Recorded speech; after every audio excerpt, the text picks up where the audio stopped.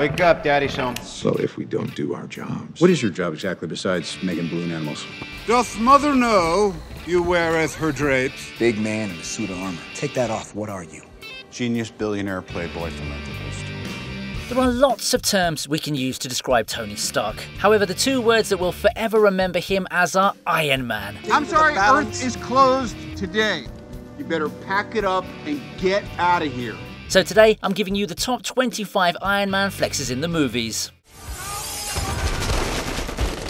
Guys, stop. We gotta talk this through. It's good talk. Now, I'm not the kind of guy who likes interventions, but if the man hosting them is Tony Stark, then pff, I'm all for it. Of course, it also depends on whether I'm an evil soldier working for Hydra as well. In this case, Iron Man teaches a whole bunch of them why it's necessary to talk things out before just shooting like morons. No, Seriously, did those guys really think some measly bullets were going to work on an Iron Man suit? Anyway, the primary appeal of this moment is Stark's composure and the way he took them down when it was his turn to return the favour. You know, I keep saying that Age of Ultron should have earned a lot more than it did in its theatrical run, but then I remember that it already made over $1.4 billion at the box office. Maybe I got too carried away by Iron Man's lifestyle.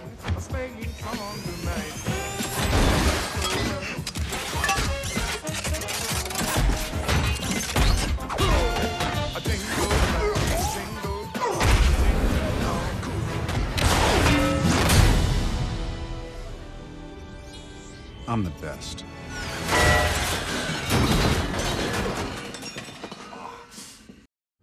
We have orders.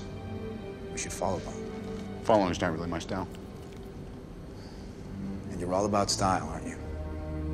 Of the people in this room, which one is A, wearing a spangly outfit, and B, not of use? We all know how much Iron Man loves to violate Captain America, so take this as a hint that you're going to see a lot of similar entries as the list progresses. These two icons began their banter right from the first Avengers movie, and oh boy, it was a sight to behold. We're all familiar with the more viral exchanges between both of these characters. Ow! Hey! Nothing? Are you nuts? Sure, Sam. Is everything a joke to you? Funny things are. But I want to bring your attention to the time where Tony roasted Steve Rogers with point number A and point number B. I can still understand the line where he mocks Steve's spandex suit, but to straight up call the man useless after, that was a grade A flex that only a man as arrogant as Tony could pull off. I'm surprised nobody ever tried making him a Sigma male icon the same way we've got Patrick Bateman all over TikTok and Instagram. That's the guy my dad never shut up about. Wondering if they shouldn't have kept him on ice. Agent Romanoff, you miss me?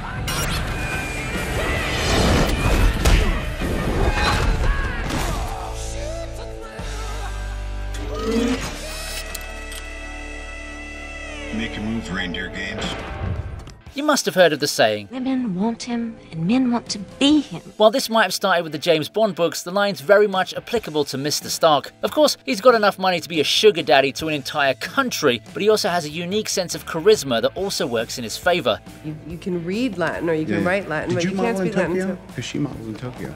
He's well aware of this too, as we can see here when he asks Agent Romanoff if she missed him. The scene only gets better as Iron Man shows up and gets Loki to surrender right after that. Captain America should really be thanking his stars that Tony came to his rescue because it didn't look like he was going to survive that battle. I mean, what's the point of all those push ups if you can't even defeat a puny god, Steve? This guy packs a wallop. Still, you are pretty spry for an older fellow. You might have missed a couple things, you know. Doing time as a capsicle. Fury didn't tell me he was calling you in. Yeah, there's a lot of things Fury doesn't tell you. If Thanos needs all six, why don't we just stick this one down the garbage disposal? No can do. We swore an oath to protect the time stone with our lives. And I swore off dairy, but then Ben and Jerry's named a flavor after me, so. So if we don't do our jobs. What is your job exactly besides making balloon animals? Oh man, he really did Steven dirty here, didn't he? I mean, if you look at the bigger picture, Benedict Cumberbatch has really earned his place as an actor. He isn't just Doctor Strange, he's freaking Sherlock as well. All that effort and all those performances only to be reduced to a balloon blowing magician at kids' parties. Jesus Christ, Tony. I know you're a savage, but you gotta take it easy sometimes, especially if you're violating the Sorcerer Supreme. I tried to bench you, you refused. Unlike everyone else in your life, I don't work for you. And due to that fact, we're now in a flying donut billions of miles from Earth with no backup. Yeah, I'm aware it's technically wrong, but we all know who truly deserves the title, don't we? I've got to give it to the man though. Even when the universe is on the brink of a cataclysmic apocalypse, Who just saved your magical ass? Me. Bro still has the creativity to come up with a savage joke. Actually, I should be giving that credit to whoever writes his lines in the script. I'm Dr. Stephen Strange. I need you to come with me. Oh, uh, congratulations on the wedding, by the way. I'm sorry, you giving out tickets or something? I would now like to call Justin Hammer, our current primary weapons contractor. Let the record reflect that I observed Mr. Hammer entering the chamber, and I am wondering if and when any actual expert will also be in attendance. I've been a fan of the Iron Man character right from the days of his comic book and animated adaptations, so I was already familiar with his eccentric mannerisms, but even then, I was amazed to see Robert Downey Jr. take over the role as if it could only have been played by him. Mr. Stark, please. Yes, dear. Can I have your attention? Absolutely. Iron Man 2 didn't set the world on fire the same way the OG film did, but it did give us a lot of witty gems, and the one I want to mention here is when Bro violates Hammer by simply denying his credentials as an expert. Is that Justin Hammer? How did Hammer get in the game? Wow. I mean, he's technically correct as he rightfully exposes the charlatan for what he is in a later scene. Yeah, I'd say uh, most countries five, ten years away. Hammer Industries, 20. But seriously, who even thinks like that in the middle of a court hearing? Brutal is an understatement for this man. Honestly, it's impossible. Tony Stark was able to build this in a cave with a box of scraps. Well, I'm sorry. I'm not Tony Stark. Do me a favor. Try not to bring it to life. I miss Spartan, you little minx.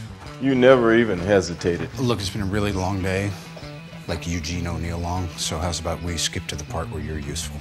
Marvel's Secret Invasion has hit Disney Plus, and even though it's something of an upgrade from the go woke, go broke content they've been spitting out over the past couple of years, it doesn't look like the fans are showing it much love. That doesn't take away from the fact that Nick Fury has been working his butt off since anyone can remember. So when Tony openly questioned his usefulness in Age of Ultron, everyone was shook. Look me in the eye and tell me you're going to shut him down.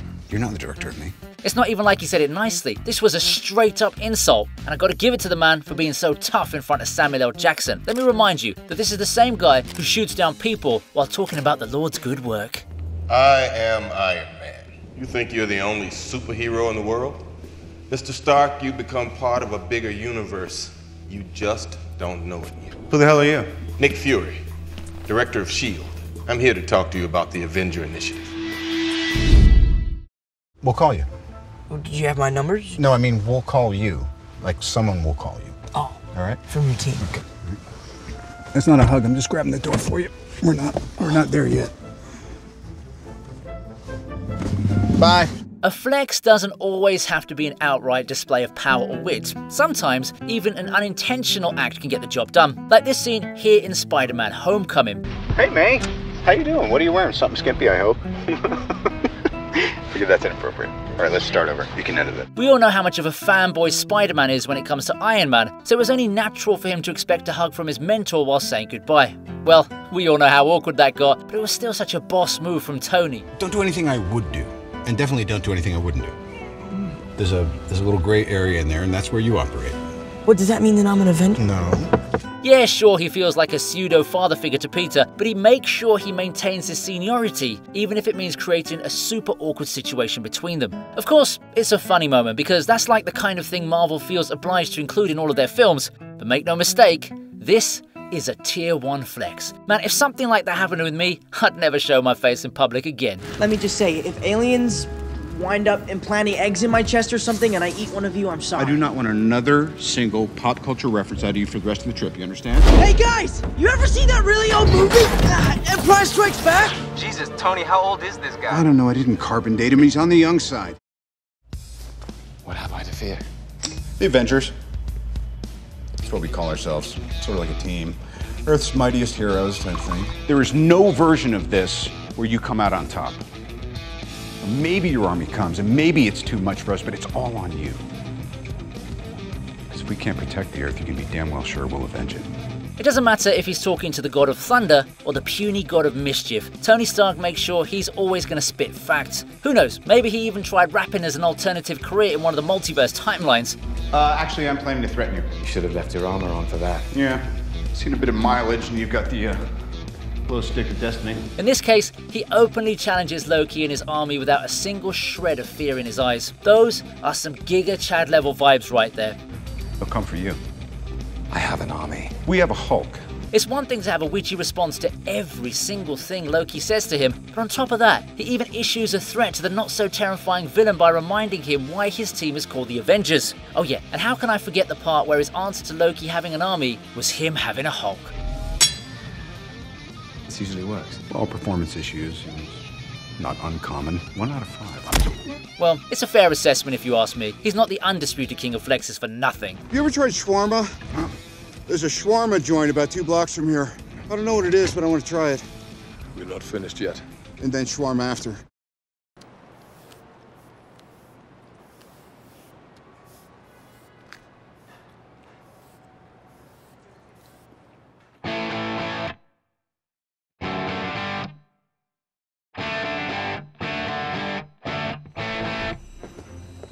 Lab's all set up, boss. Oh, actually, he's the boss. I just pay for everything and design everything and make everyone look cooler. Did say there'll be some more Captain America roasts coming your way, so here's another one of them. I'll give Tony some credit here for being nice because he actually mocks his buddy with a compliment. Shit! Language. Wait a second. No one else is going to deal with the fact that Cap just said language? I always like this kind of talk because it makes the King of Sass come across as classy without having to try too hard. Like we all know Stark Industries is funding the Avengers, but even then, our man manages to make a joke out of it while using sarcastic humility. Also, for him to call Steve the boss while tooting his own horn was somewhat wholesome if you ask me. It's actually the other way around when you look at it in real life. It's always the dudes who pay for everything that take up the title of boss without really possessing the competency to deserve it. You know, the question I get asked most often is, Tony, how do you go to the bathroom in the suit? Just like that. You just keep the suit. I know, it has a filtration yeah, system. You could drink that water.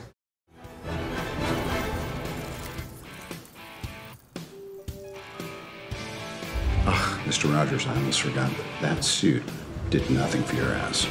No one asked you to look, Tony. It's ridiculous. Well, here you go. We've got back to back flexes against Captain America. That's exactly how much Iron Man loves him. Now, this is a unique one because Bro's making fun of Steve in 2019 by looking at his 2012 version. More importantly, he's commenting on how all that spandex couldn't save his butt from looking flatter than a concrete wall. That is America's ass. I'm sure a lot of women would disagree with you there, Tony, but go on. It was pretty evident that Iron Man was pissed at Captain America during the first half of Avengers Endgame, so maybe this was the perfect way to get his point across. I think you look great, Cap. As far as I'm concerned, that's America's ass. Even Steve felt the burn on this one. Bro actually snapped back at Tony for mocking his glutes. For lack of a better option, dummy is still on fire safety. If you douse me again and I'm not on fire, I'm donating you to City College.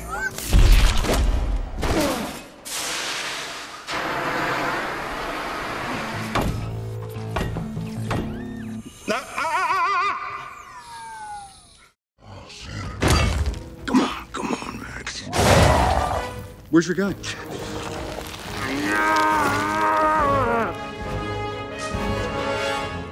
Dude, you're embarrassing me in front of the wizards. Okay, so here's the thing. If you're gonna make fun of Doctor Strange the first time you meet him, you can't afford for your best friend to embarrass you in front of him and Wong when an alien invasion is about to commence. Tony knows that, and he makes it clear when Bruce Banner faces performance issues in bringing out the Hulk. To top things off, he also just insulted Ebony Maw after mentioning Earth's operating hours. Be thankful that your meaningless lives are now contributing I'm to sorry, the balance. Earth is closed today.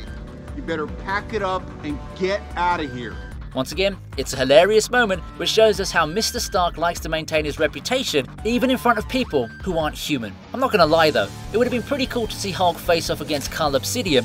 Also, did you know his nickname is Black Dwarf? I definitely wouldn't want to meet a regular sized version of that dude.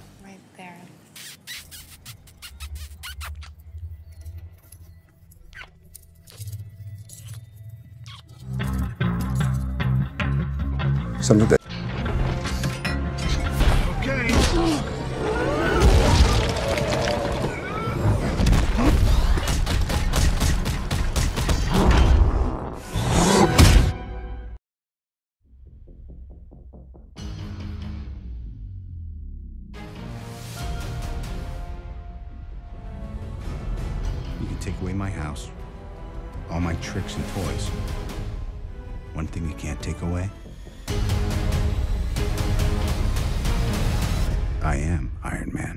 Sometimes it's the realization of your own capabilities that sets you apart from everyone else in the room. Self awareness has always been one of Iron Man's strongest points, but it's mostly for his fights or his sense of humour. I mean, in this case, he lets us know exactly why he'll always be Iron Man, even if you take everything away from him. And the point is that we did see it happen. He was without a suit for a pretty long time, he didn't even have his house, his assistant, Pepper, or anyone to help him out, but he still managed to get the job done. That's why the ending monologue from Iron Man 3 is the highlight of the whole film. Yeah, sure, he needs Bruce to be a shrink every once in a while, but that's pretty acceptable when you've got responsibilities like his. Nice work, guys.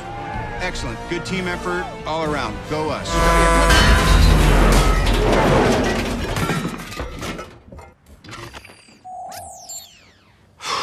That came out of nowhere. Which leads us to believe at this juncture we'd only like to use you as a consultant.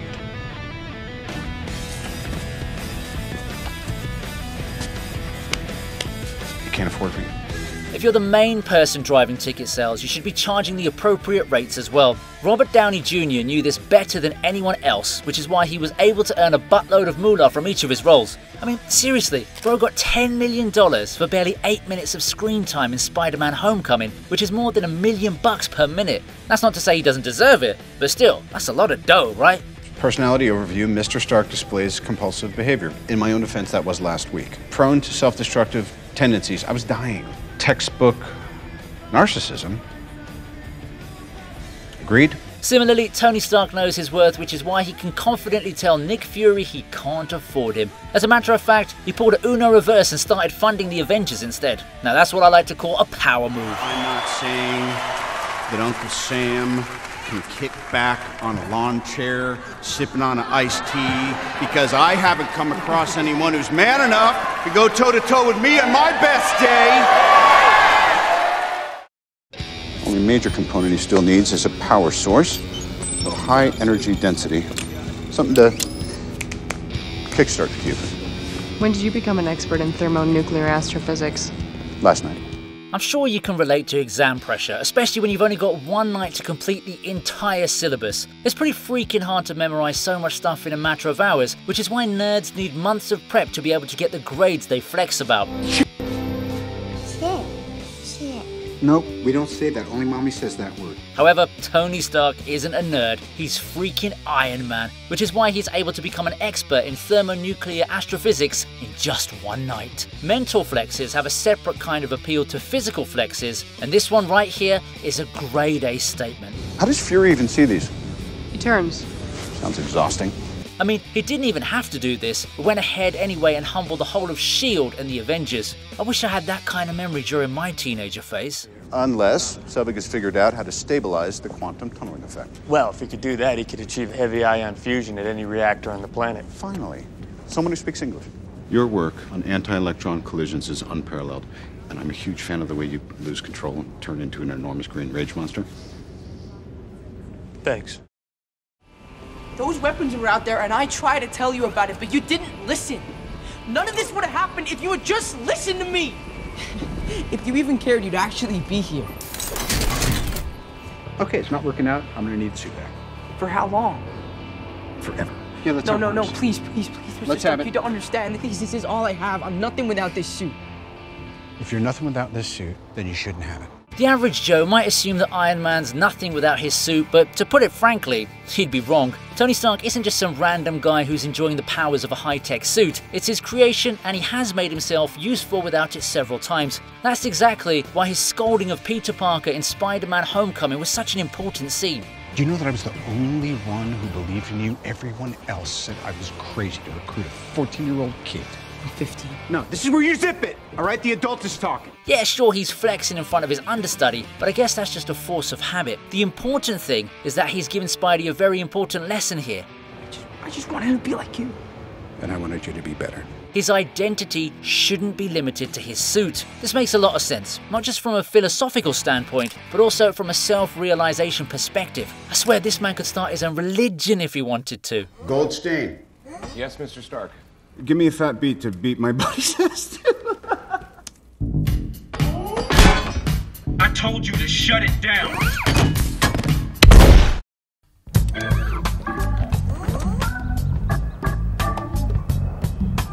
Sir, I'm gonna have to ask you to exit that.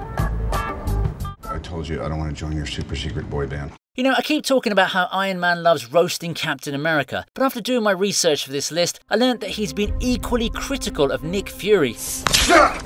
Oh, God, you're gonna steal my kidney and sell it? This is the third entry of him flexing on the man who's supposed to be his boss, and I'm totally loving the domination here. For starters, Tony calls the Avengers a super secret boy band, which is sassy enough. Then he goes a few steps further and asks Nick, I'm sorry, I don't want to get off on the wrong foot. Do I look at the patch the eye? Honestly, I'm a bit hungover. I'm not sure if you're real or if, if I'm having delirium. I am very real. That might be taking things a little bit too far if you ask me, but then again, I got my eye on you. with the role Samuel L. Jackson's played throughout his life, I'm sure he wouldn't mind a nice little burn every now and then. Mr. Stark, it smells like a new car in here. Sir, I'm gonna have to ask you to exit the donut. Oh, come on! Do not touch me again. Then don't take my stuff. You have no idea what you're dealing with. Uh, Shakespeare in the Park? Doth mother know you weareth her drapes? Of all the people Tony's roasted over the course of his existence in the MCU timeline, I'll always remember the first time he faced off against Thor. Their fight scene is a whole other story, so I won't be covering that because the humour on display here is elite. Put that hammer down. Uh, yeah, no. Bad call. He loves his hammer. We've all seen Thor as this overpowered god who you shouldn't be messing with, I'm listening. but Iron Man ain't about that submissive lifestyle, so we get straight to mocking the man's dress sense. The Shakespeare in the Park line had me in splits and got everyone in the audience laughing as well. Loki will face Asgardian justice. He gives up the cube, he's all yours. Until then, stay out of the way.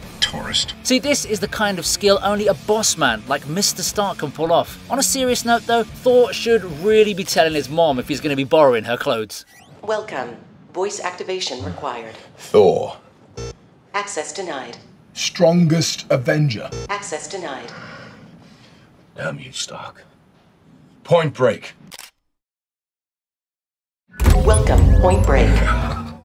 My priority is to get the Iron Man weapon turned over to the people of the United States of America. Well, you can forget it. I am Iron Man. The suit and I are one. To turn over the Iron Man suit would be to turn over myself, which is tantamount to indentured servitude or prostitution, depending on what state you're in. You want my property? You can't have it. But I did you a big favor. I have successfully privatized world peace.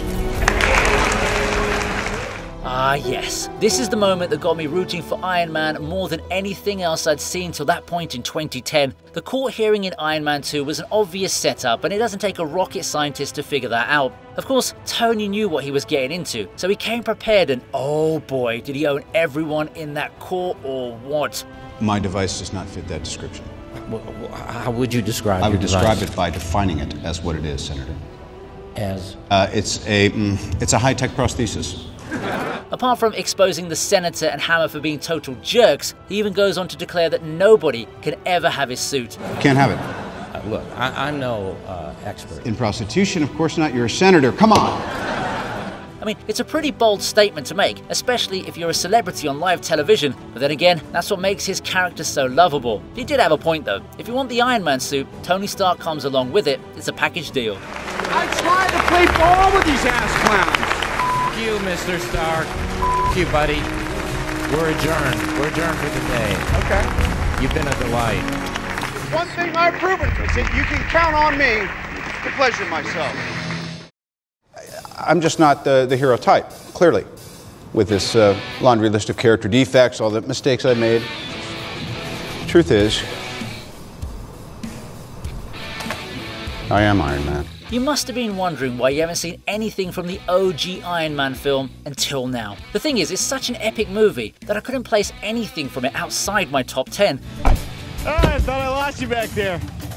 You did, sir. The final scene in 2008's Iron Man was the game changer when it came to the superhero genre. We were used to seeing these guys hide their identity to avoid any unnecessary drama. Take Superman, for example. Bro did the bare minimum to keep his disguise, and it still worked. Tony Stark, though, is a different breed of badass, so you can't really expect him to follow any scripts. That's exactly what happens here when he ignores what his team had written for him and openly declares that he is Iron Man. Yeah, that's how you announce yourself on the big stage. And this is why we love you 3000. My name is Tony Stark, and I'm not afraid of you. You just died, pal. I'm gonna come get the body. Here's my home address 10880 Malibu Point. I'll leave the door unlocked. That's what you wanted, right? Fill me. Is it better to be feared or respected? And I say, is it too much to ask for both? For your consideration, the Jericho.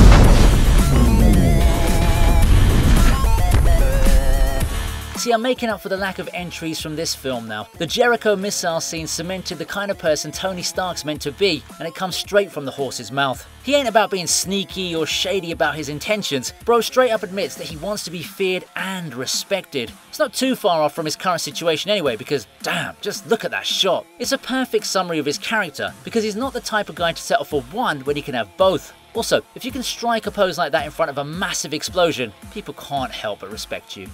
I'll be throwing one of these in with every purchase of 500 million or more. It's a piece. Is it cool if I take a picture with you? Yes, it's very cool. Please, no gang signs. No, throw it up. I'm kidding. Yeah, peace. I love peace. I'll be out of a job with peace.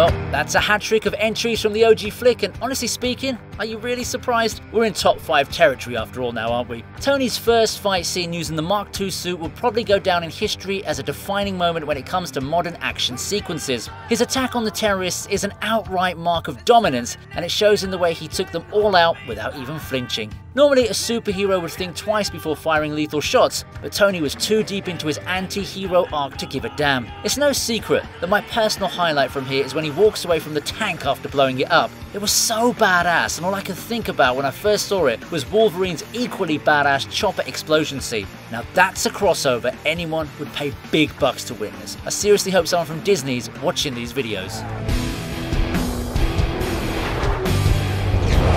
Now, what am I supposed to tell the press? Uh, training exercise. Isn't that the usual BS? It's not that simple. An unfortunate training exercise involving an F 22 Raptor occurred yesterday. Hank Pym always said you never can trust a Stark. Who are you? Come on, man. Stark? Did he give you anything on Rogers? No, told me to go to hell. I'm going back to the compound instead, but you can call me anytime. I'll put you on hold. I'd like to watch the line blink. This is a unique entry because it combines three separate flexes into one. The thing is, they follow one after another, so it made more sense to merge all of them together to land this high up on the list. How do you even quantify this kind of behavior? You seem a little defensive.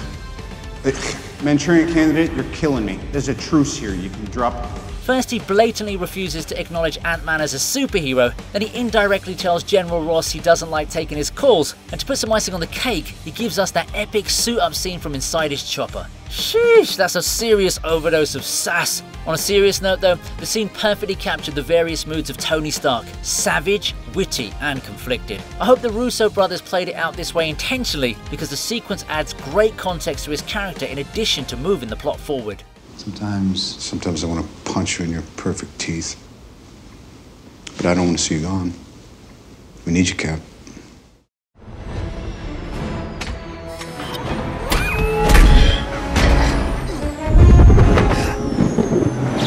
Stark, we need a plan of attack. I have a plan. Attack. Normally, you'd imagine a guy like Mr. Stark to be well prepared in the face of any adversity. While that might be true most of the time, he's also a huge fan of impromptu decisions. That can be seen here in the Avengers, when Thor shows up and takes Loki away. I agreed with Captain America when he said they needed a plan of attack to face off against the God of Thunder, but Iron Man has only one plan when it comes to such situations attack. It wasn't a bad plan either, actually. He managed to hold his own against Thor, and both of them were trading blow for blow till Steve showed up and spoilt the party for everyone. What's going on here?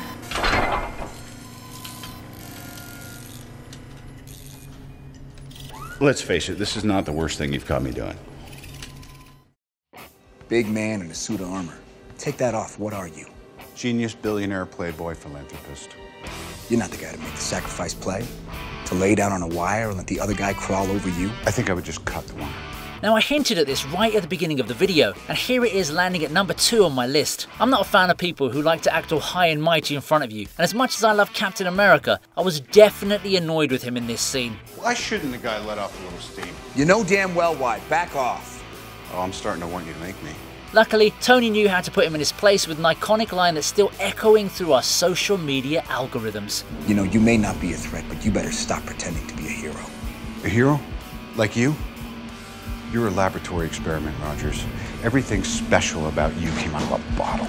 See, it's not just about being a genius, billionaire, playboy philanthropist, it's also about having the confidence to give it back to those who think they're in a position of moral superiority. On top of that, the way he came up with that response so quickly kinda made me wonder if he was waiting for a chance to deliver that line. Needless to say, everyone was impressed. Well, what's the Dude, use of is it having healthy, and owning competi- healthy a race car competition? if you don't drive it?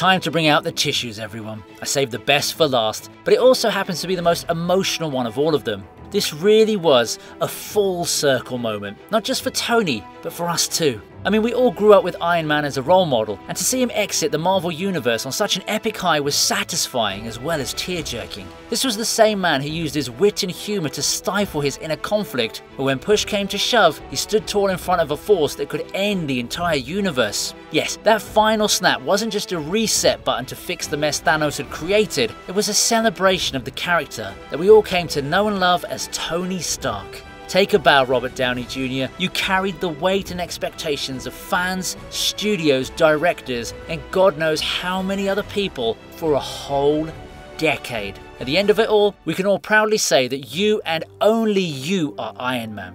Now, if you don't mind, I'm gonna go cry in a corner. We're gonna be okay. You can rest now. What is and always will be my greatest creation is you.